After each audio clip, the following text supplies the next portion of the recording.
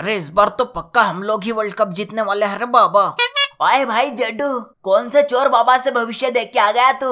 ये भविष्य भविष्य पे विश्वास मत कर भाई। अरे मैं कोई भविष्य देख के नहीं आया, मैं स्क्वाड में आ गया हूँ ना तो पक्का इस बार हम लोग ही वर्ल्ड कप जीतेंगे रे बाबा। अरे चुट्टब्बी, इस बार मैं वर्ल्ड कप जीताऊँगा, मैन ऑफ़ द सीरीज़ मैं बनूँगा। अरे हैट्रिक, मेरे आगे निकलने की कोशिश मत कर, नहीं तो रन आउट करवा दूँगा रे बाबा।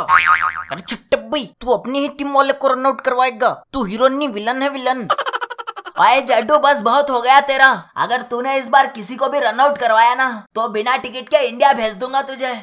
अरे बिना टिकट के इंडिया कैसे भेजेगा रे बाबा? कहीं बैलगाड़ी में तो नहीं भेज देगा। ओए बैलगाड़ी में नहीं। अगर तू किसी को रन आउट करवाएगा तो तेरे पिछवाड़े पे बैट से ऐसे मारूँगा। इंग्लैंड से सीधा इंडिया में जाके गिरेगा तू। अरे मैं समझ गया अरे बाबा कुछ भी हो जाए किसी को भी रन आउट नहीं करवाना है। अरे वो सांबा मैं वर्ल्ड कप की टीम में हूँ। बता किस किस को हराना है रे? सरकार मैं तो वर्ल्ड कप की टीम में ही नहीं हूँ। अरे वो सांबा तू वर्ल्ड कप की टीम में नहीं है क्या? चल कोई बात नहीं मैं किसी और को सांबा बना लूँगा। सरकार ये दिनेश कार्तिक को क्यों लिया है टीम में? क्योंकि वो शाहरुख खान की आवाज़ निकालता है, इसलिए भाई।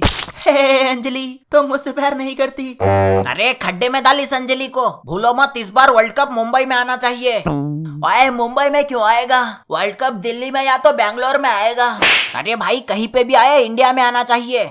अरे तुम लोग टेंशन मत लो। बाप का, भाई का, दादा का सबका विकेट लेगा रहा तेरा भुमरा। साला कभी कभी लगता है कि अपुनिच भगवान है। भगवान को हराना इतना आसान नहीं है।